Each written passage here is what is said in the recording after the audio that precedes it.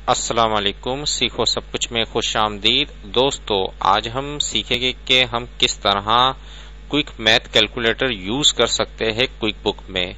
दोस्तों, जब हम अकाउंटिंग में काम कर रहे होते हैं तो हमें बहुत ज़्यादा ज़रूरत पड़ती है कैलकुलेटर यूज़ करने की। तो क्विक बुक आपको ये फैसिलिटी देता है कि आप इसको यूज़ कर सकते हैं। और काफ़ी लोग ये नहीं जानते हैं कि इसको किस तरह यूज़ किया जा सकता है। आज हम ये सब जानेंगे कि इसको किस तरह किया जा सकता है। आइए क्विक बुक अकाउंटिंग सॉफ्टवेयर पर इस वक्त मैं आ चुका हूँ। यहाँ अगर आप कोई भी काम कर रहे हैं और अगर आपने किसी फ़ील्ड में कैलकुलेटर यूज़ करना है तो वो आप बसानी कर सकते हैं। इस वक्त फॉर एग्ज़ाम्पल मैंने एक परचेज ऑर्डर पर क्रिएट करने के लिए जाता हूँ और यहाँ जो है क्वांटिटी है। और मेरे पास जो क्वांटिटी है, मुख्तलिफ़ क्वांटिटी है, उसको मेरे को सम कर कर यहाँ टोटल क्वांटिटी लिखना है। तो मुझे क्या करना पड़ेगा? मैं जैसे ही इस इस पर आता हूँ तो इसी को मैं कैलकुलेटर बना सकता हूँ। सिर्फ़ आप इजिकल टू प्रेस करें। जैसे ही आप इजिकल टू प्रेस करेंगे, आप देखेंगे कि कैलकुलेटर आ गया।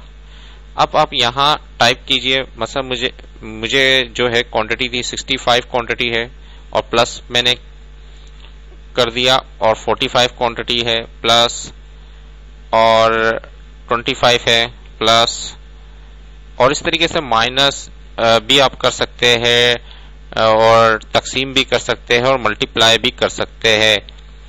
तो इस वक्त क्या है कि इस वक्त मेरे पास 25 हो गया और 30 हो गया और ये मुझे चार क्वांटिटी जो आपके पास बिल था, उसमें चार क्वांटिटी इस तरीके से लिखी हुई है और आपको यहाँ टोटल इंटर करना था। तो जैसे ही मैंने इसको प्रेस टाइप कर कर इंटर करूँगा तो देखिए दोस्तों तो उसका टोटल आ गया। इसी तरीके से आप इसको टोटल कैलकुलेटर की मदद से यूज़ कर सकते हैं। कैलकुलेट दोस्तों, इसी तरीके से मैं दूसरी एंट्री करता हूँ यहाँ।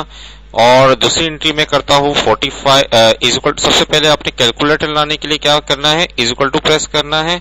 उसके बाद अब आप इसको हटाना है। ये ज़ीरो इस वक्त आ रहा है। इसको हटाना है तो आप सी प्रेस कर दे तो ये ज़ीरो हट जाएगा।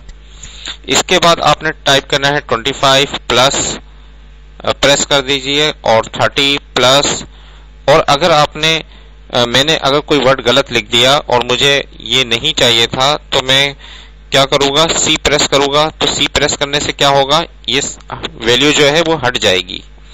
इस तरीके से मैं अपनी मर्ज़ी से जो भी वैल्यू होगी वो इंटर कर सकता हूँ। और और मुझे बाद में ख्याल आया कि मुझे ये वैल्यू चाहिए नहीं है। मैंने गलत एंट्री करना स्टार्ट कर दी थी। तो मैं क्या करूँगा कि डबल सी प्रेस करूँगा तो ये पहले वाली पोजीशन पर आ जाएगा। डबल सी प्रेस करने से क्या हुआ? सब खाली हो जाएगा क्लियर स्क्रीन हो जाएगी, और आप दोबारा से ये टाइप कर सकते हैं। डबल सी प्रेस करेंगे तो क्या होगा? क्लियर स्क्रीन हो जाएगी। और अगर मुझे कोई वैल्यू जो है वो नहीं चाहिए, ये वाली वैल्यू मुझसे गलत हो गई है तो मैं सी प्रेस करूँगा तो ये क्लियर हो जाएगी सिर्फ़ वैल्यू और डबल सी प्रेस करने से क्या होगा कि तमाम जो कैलकुलेटर था वो क्लियर स्क्रीन कर देगा। तो इस तरीके से आप बासानी कैलकुलेटर को यूज़ कर सकते हैं। दोस्तों, आप इसको यूज़ करें क्विक बुक में तो आप काफ़ी आपके लिए काफ़ी यूजफुल रहेगा। और जैसे ही मैंने ये प्रेस कर कर, एंटर करता हूँ तो ये वैल्यू टोटल होकर आ जाएगी। और इसी तरीके से अगर आप जैसे ही मैं इक्वल टू प्रेस करता हूँ तो ये वैल्यू आ गई। और यहाँ मजीद अगर मुझे प्लस करना है तो वो मैं प्लस कर सकता हूँ। अगर मुझे कोई माइनस करना है तो मैं माइनस प्रेस कर कर 25 माइनस करना है तो मैं माइनस कर सकता हूँ इस तरीके से। अगर कोई और माइनस करना है तो मैं जैसे ही माइनस प्रेस करूँगा, आप दोस्तों देखे, देखोगे कि माइनस का निशान आ गया। मैंने 100 को भी टेन को माइनस किया और इंटर जैसे ही करूँगा तो माइनस होकर वैल्यू आ जाएगी। देखिए दोस्तों, कितना ज़बरदस्त ऑप्शन है, आप इसको यूज़ करें। उम्मीद है कि ये वीडियो आपको बहुत पसंद आई होगी। लाइक और सब्सक्राइब करना मत भूलिएगा। दोस्तों, आप मेरे चैनल को सब्सक्राइब ज़रूर कीजिए, ताकि कोई भी नई वीडियो आए तो उसका नोटिफिकेशन आपको मिल जाए। थैंक्स फॉर वॉचिंग अल्लाह हाफिज।